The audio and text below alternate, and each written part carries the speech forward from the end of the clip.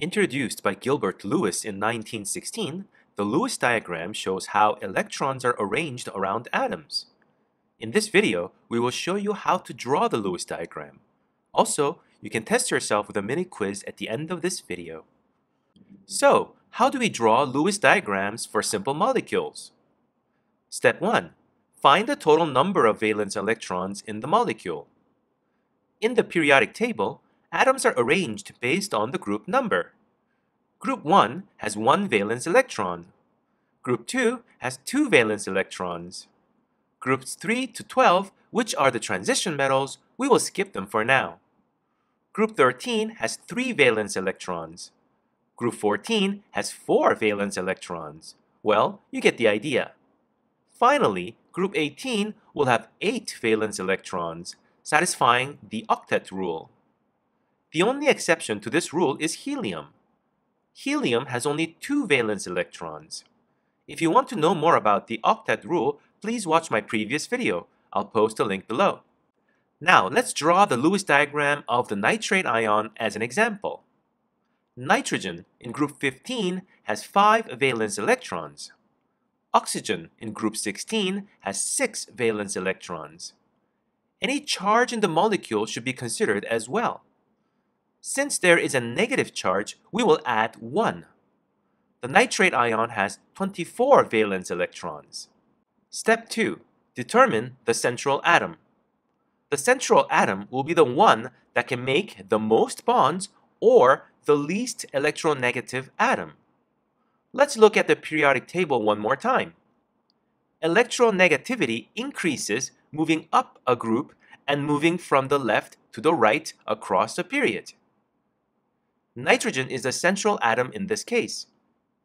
Place other atoms around the central atom. Step 3. Draw a skeletal structure for the molecule using only single bonds. Step 4.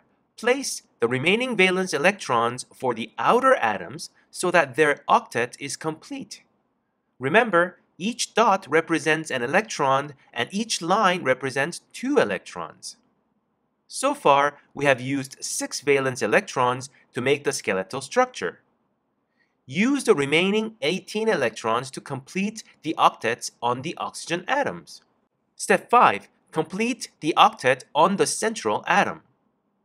If you have run out of electrons, use lone pairs on the outer atoms to form multiple bonds. Step 6. Determine the formal charges for all of the atoms. Sometimes an atom in the Lewis diagram has a formal charge. It happens when the number of electrons in the Lewis diagram is different from its typical valence number. The formal charge of an atom is calculated by the number of valence electrons minus the number of dots minus the number of lines. Using this formula, the formal charges for the nitrate ion can be calculated. Commonly, only the net charge on the ion is shown in the Lewis diagram. Please note that there are exceptions to this octet rule. Hydrogen and helium follow the duet rule, which says their valence shell is full with two electrons. Also, the octet can be expanded beyond 8 electrons, only for atoms below the second row of the periodic table. Now, are you ready to take a mini quiz? Action. Question 1.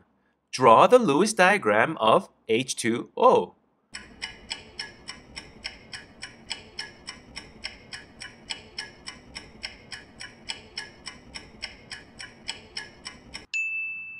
H2O has 8 valence electrons. Oxygen is the central atom with two lone pairs of electrons. Question 2. Draw the Lewis diagram of CCl4.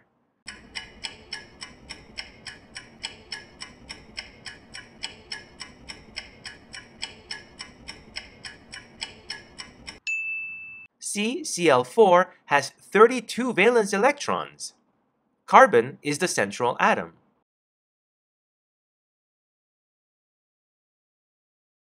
Question 3. Draw the Lewis diagram of CCl2O.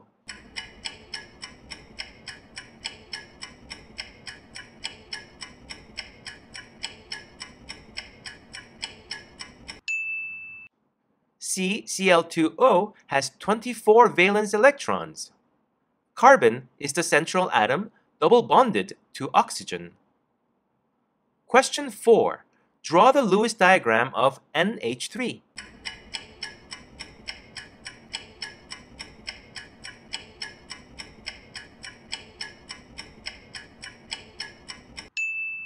NH3 has 8 valence electrons. Nitrogen is the central atom with one lone pair of electrons. Finally, question 5.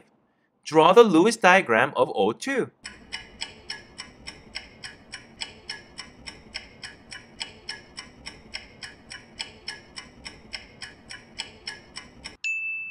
O2 has 12 valence electrons.